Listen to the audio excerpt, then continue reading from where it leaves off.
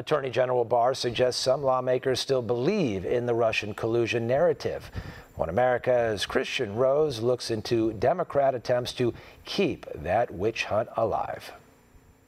We're going to, in a bipartisan way, I hope, deal with Russia. Coordination between the Trump campaign and Russia. The Russian witch hunt appears to be taking a new turn as debates over alleged Russian meddling with U.S. elections continue on Capitol Hill. During his Senate testimony Wednesday, Attorney General William Barr said Democrat lawmakers appear to believe in the Russian collusion narratives, regardless of the findings of Special Counsel Robert Mueller. Barr defended his decision to release the Mueller report and the timing of its publication, saying it was all up to him according to the U.S. law. You know, how did we get to the point here where the evidence is now that the president was falsely accused of colluding with the Russians, and two years of his administration uh, have been dominated by the allegations that have now been proven false. However, some lawmakers insist that at least maybe the Russians have tried to collude with the Trump campaign. They point to the alleged Russian postings on social media,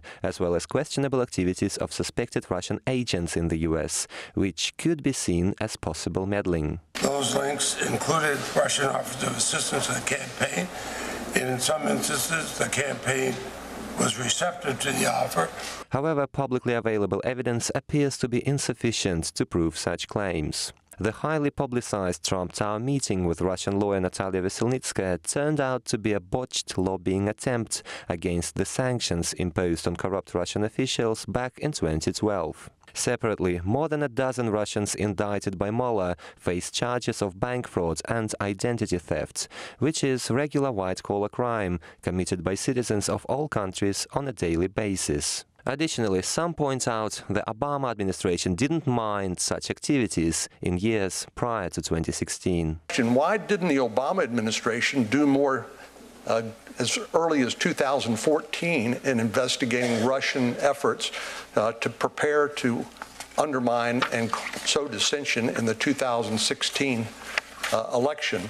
However, it's the word Russia, not the Kremlin, not Putin, not at least the Russian government, but Russia was brought up on multiple occasions during Wednesday's hearings, almost exclusively in negative context.